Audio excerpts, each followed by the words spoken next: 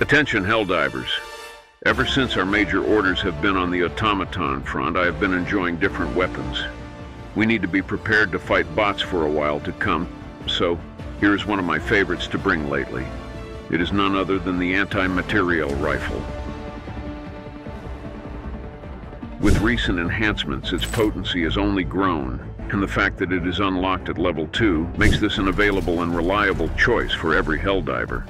With three versatile scope settings and a rapid rate of fire, the anti-materiel rifle is the epitome of precision and lethality. Whether facing light or medium armor, its penetrating shots strike true, ensuring swift justice for our enemies. And when confronted with automatons, its effectiveness knows no bounds.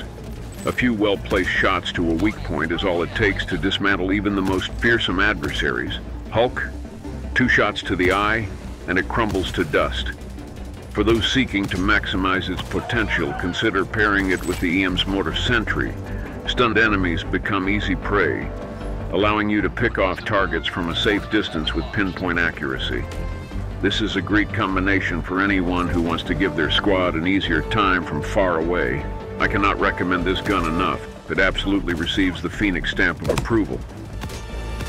Your input is invaluable, fellow Helldivers. I would love to hear in the comments what weapons you like to bring to the Automaton front. A special thanks to those of you who have joined the Phoenix Squad. You represent the best that Super Earth has to offer. You are true heroes. Together, we shall emerge victorious. Remember, from the ashes, victory emerges. Captain Phoenix, signing out.